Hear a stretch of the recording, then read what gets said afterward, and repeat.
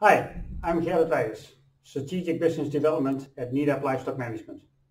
And my name is Harjan Westerman. I'm the Sales Account Manager in Asia. We would like to thank Tonisity for giving us the opportunity to organize this webinar.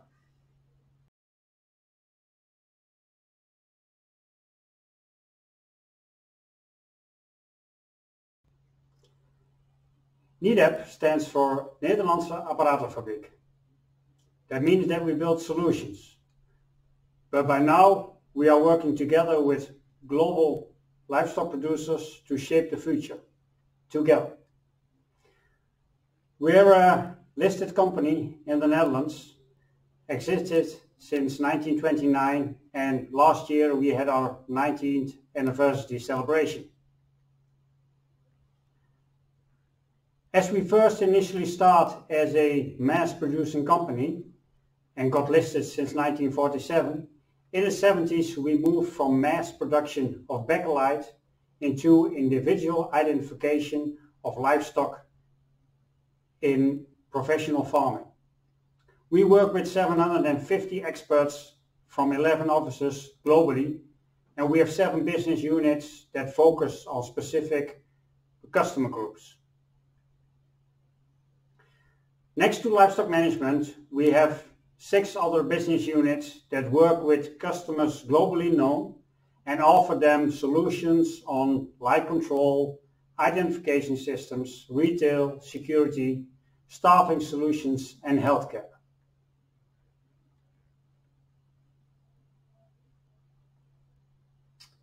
Within livestock management, we have both divisions in dairy industry and the pig industry.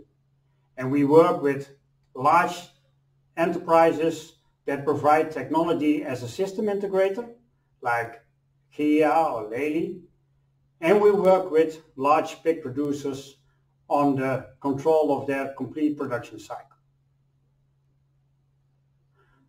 On the solutions that we offer for the pig industry, of course, we will discuss further today. But first I would like to start with how we like to work as NEDAP Livestock Management. We want to act as an observe, create and scale business unit.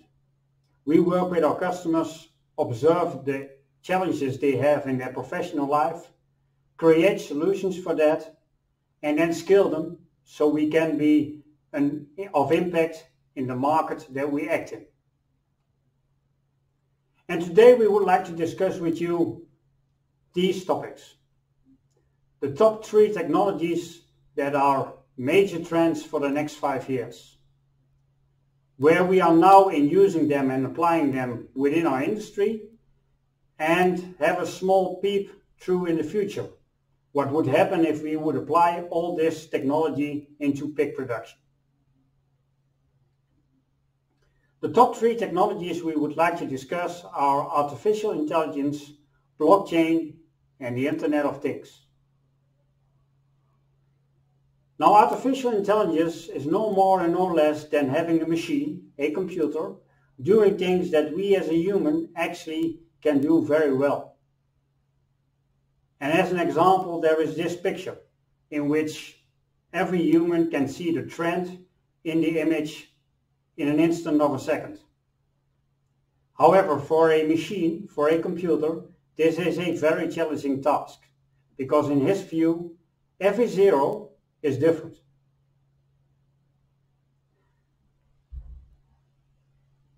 We can improve that by having the computer learn from what we see.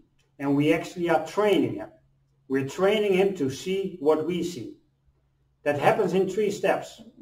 In this example, where it analyzes a picture, it starts with a classification, explaining what is in the picture, then the detection and a segmentation to see where what type of uh, image it can be seen. And as we are training the machine, the computer, we slowly improve the behavior of and the performance of that intelligence. Whereas from the left side, where there's a selection of animals that can be seen, via training of the computer, we indicate what picture actually is a cat. Now what is important is to understand is that all the steps that are in between there are not in programming but in training. So we are not programming the machine to detect this is a cat. We are learning, we are training the computer that this is a cat. Machine learning is in a rapid development. And until now, the performance is still lower than our, the performance of our human brain. But we're expecting to reach the cross point where computer performance is exceeding human performance within the next 10 years. Please be sure that this is not about emotional intelligence. This is all about the artificial intelligence that can do a specific task and it does not mimic the human, but it mimics our identification of uh, things that we see in the outside world. And we are already applying it. Although all the examples that we show here are still in a very preliminary stage, already we can start to identify animals based on the vision that we have from them. We can already count piglets. We can already have a deduction of the weight, an estimation of the weight based on the surface of a finisher pig.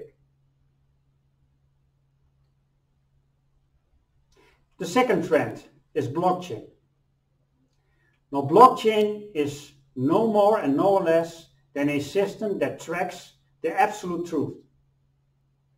It means that every set of information can be tracked into the previous version of that set of information. As you can see in this example, the first piece of information, which is called the Genesis block, is traced back, is formed in a chain to the second version of that information, and as we are adding or changing that information every time we build a new block in that chain. Now why is this important? Well, in all the organizations in society, the registration of the absolute truth is vital to the functioning of a society. Is this plot of land really yours? Is the money in your bank account really yours? Are you really officially married to your wife or husband? All these things are vital to the society and, the and are based on the trust of the absolute truth. Now, of course, in food production, this is also crucial.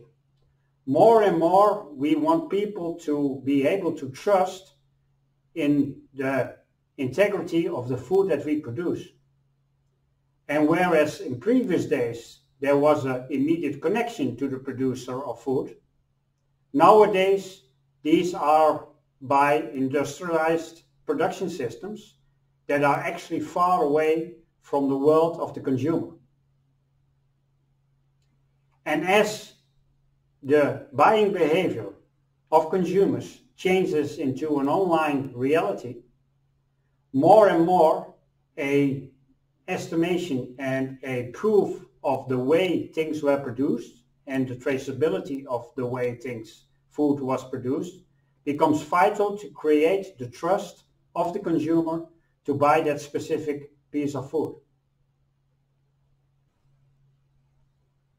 The third technology I want to discuss is the Internet of Things.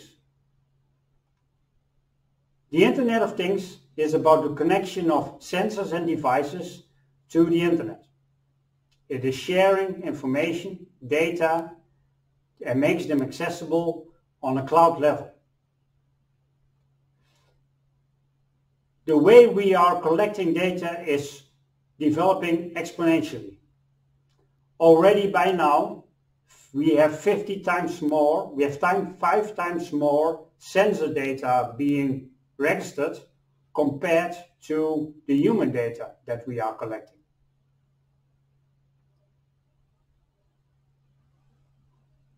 And we already are applying those Internet of Things into livestock management today. Within dairy cows, we have sensors applied in the color of the animal that detects their eating, standing and lying behavior. And in this way, we are monitoring and analyzing their behavior individually, also comparing it to the herd and to standardized references.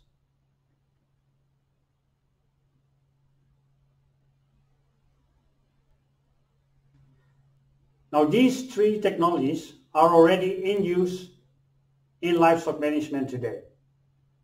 And I want to take a quick detour to dairy industry, where Nederland Livestock Management has a lot of activities, and show you how we are using them today.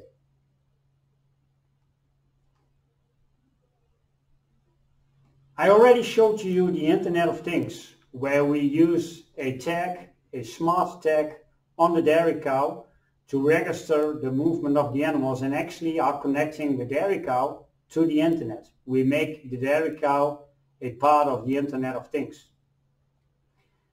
And we are actually using artificial intelligence today to monitor and analyze the standing and lying behavior of that individual cow.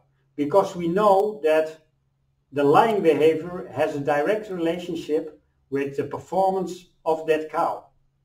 We know that every hour that a cow is lying per day, she will produce um, a liter of milk more per day. And why is this strong relationship there? Well, actually it's there because it's a ruminant. And the lying stands for rumination of the dairy cow, supporting her milk production. And even blockchain is used today.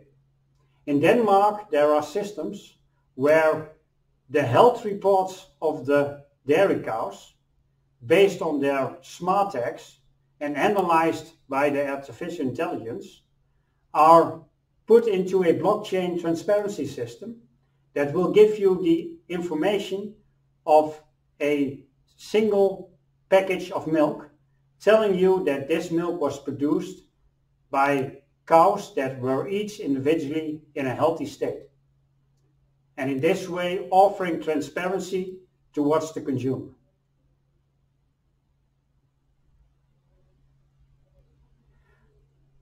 Of course, we are today talking about the pig. And like the examples I have shown in dairy, for us the individual pig is the starting point of our systems. And around that we have built management systems, housing concepts, that manage the individual pig. But they are not there, just there to execute that management. By now they have developed into data collection machines that constantly make data available on the individual pig. And as needed, we have built a circle around that, offering service and storage to make to collect that data and to analyze it and apply it into the daily management of our housing concepts. And once that data is available in that form, we have the opportunity to develop applications for that. Applications that can support the producer in better supporting the performance of their animals, but also are offering access to that data to other parts of the industry. Now the moment that you have data available on a cloud level, on a server level, via a protected connection, we can give access to that data and give a real-time insight into developments like weight, feed intake, based on the data that is being collected 24-7 by our systems. And as we make this data available to the producer on site, we also can make it available to, for instance, a management system. But we believe that there are much more possibilities once the industry is starting to share and connect that data with the other vital parts of our industry, genetic improvement, slaughterhouse performance, nutrition, healthcare. NEDAP has been very decisive in the role they want to take in that ecosystem that is being built. We find it our role to make sure that we can uh, offer the producers smarter systems that are supported by NEDAP, in which we apply the data that we, our systems are collecting and offer them to the producer to make it easier to manage his systems. Now the moment we are talking about performance, already much more data is needed. We need data about the number of piglets, about the slaughter quality of the finisher pigs, about the genetics, about the nutrition. That's where NEDAP believes that we need a connected industry to get that data together, analyze it, and work together towards a better performing industry. And finally, we believe that our concepts can support a transparency system by feeding the data of the daily performance and daily development of the individual pig as a source for a transparency system that can offer the consumer a complete insight and trust into the pork that is being produced. So that is how NEDAP Livestock Management designs and develops smart solutions for livestock farming worldwide. And the systems that we are, have developed and our offering towards the pig industry are throughout the complete pig production cycle. And I'm happy to hand over to Harjan to discuss these concepts with you.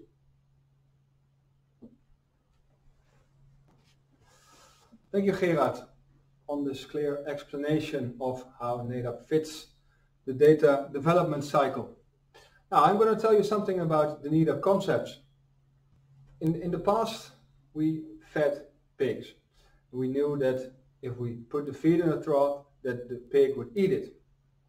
However, there more, is more information available about the pig nowadays. We have the genet genetic data, we have the feed manufacturing data with the veterinary service and the meat processing data. And we want to combine this input However, we have one small problem, a gap we want to fill. It is the fact that we do not know how much the pig actually eats or how much the pig actually gains in weight by eating the food. So we identified it as the last meter problem. Now, we as NEDAP, and we already discussed it in this webinar, there are a couple of data that's available towards the pig. Veterinarian services, genetic companies, the feeding companies, and the slaughterhouse all has data available on the piglet. Pig. We as NEDAP seek to add to this data the weight at least of the feed intake of the pig and the weight the pig actually gains by this. For that there are a couple of steps that need to be taken before we can actually put the data, the zeros and the ones taken from the pig and from the genetic company, etc., into the information and up to barn management. First off, the data collected by the NEDAP solutions our weight and feed intake. The data we already had are protein levels of the feed, the energy levels of the feed, uh, things like genetic characteristics of the pig, the health characteristics, but also the slaughter data of the piglet after slaughtering. These are all the zeros and the ones. They're not analyzed by any, any means. First of all, we as NEDAP sought to put an algorithm to it. If you multiply the weight times the feed intake, what do you get? It's just an equation for now, we put an algorithm in there. And then when you calculate the algorithm, you get information. The actual feed conversion of the piglet, etc., etc. Still of one pig though. But of course, our NEDAP solutions are able to uh, collect the data of more than just one piglet. We have group data. We have pig number two, pig number three, etc. of A whole group, up to thousands, maybe a millions of pigs. When you compare this group data of the other pigs to the data of pig number one, you get knowledge. You get a feed conversion of one pig relative to the, to the group.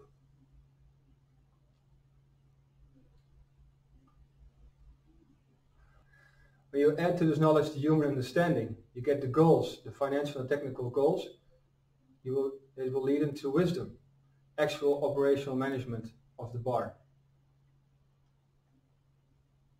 Now, we as NEDAP offer a couple of solutions that make sense for your operational management.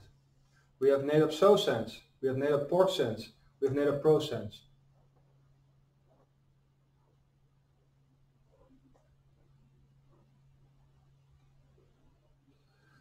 Well, as you can see on this diagram, all of our propositions are connected. The Nedap SowSense is mostly connected until the uh, the pig management, the, the sow management. The ProSense is genetics management, but also feed uh, conversion measurements. And there's the PorkSense that's uh, meant to be that manages finisher pigs. First of all, we'll start to explain for the NEDAP electronic sow feeding system. This, this is a barn overview of our electronic sow feeding system.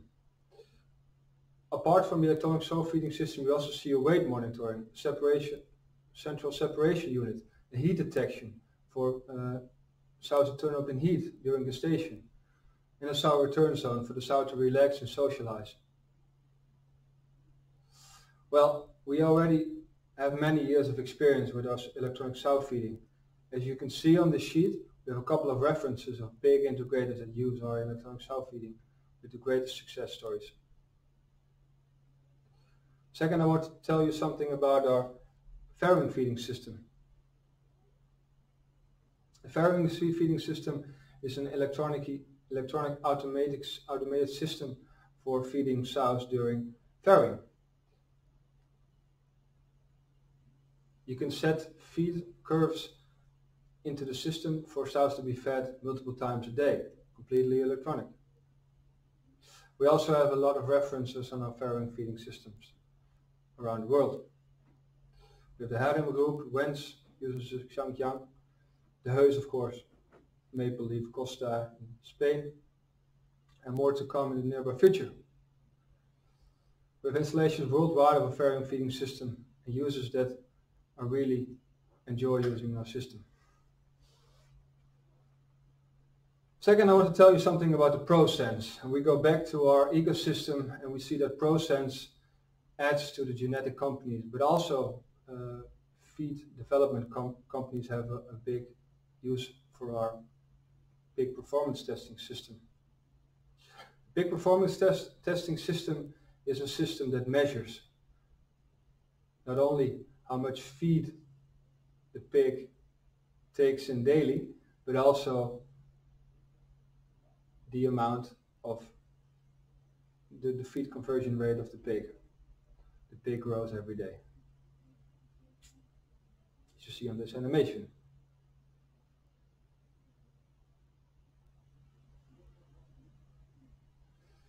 The pig performance testing offers the possibility to make growth curves, but also the amount of visits a pig does per day in our system. When, take, when all this data is taken and put into a system, you can rank the pigs and actually select the, the best 1% pigs you are having your total herd. Well, as I said, the pig performance testing is used mainly in genetics and nutritional companies. Of course, we also have a lot of reference for our ProSense, as can be seen on the screen. Lastly, I want to tell you something about NEDAP PorkSense. NEDAP PorkSense consists of our pork tuner, which is actually a pig sorting system we use for finisher barns. The NEDAP PorkSense is as is the NEDAP ESF, a whole different management system in the barn as well. The NEDAP PorkSense allows you to use your floor space more optimally. NEDAP PorkSense is a concept to house large groups of finisher pigs. This concept actually allows us to grow the finisher pigs according to their weight growth.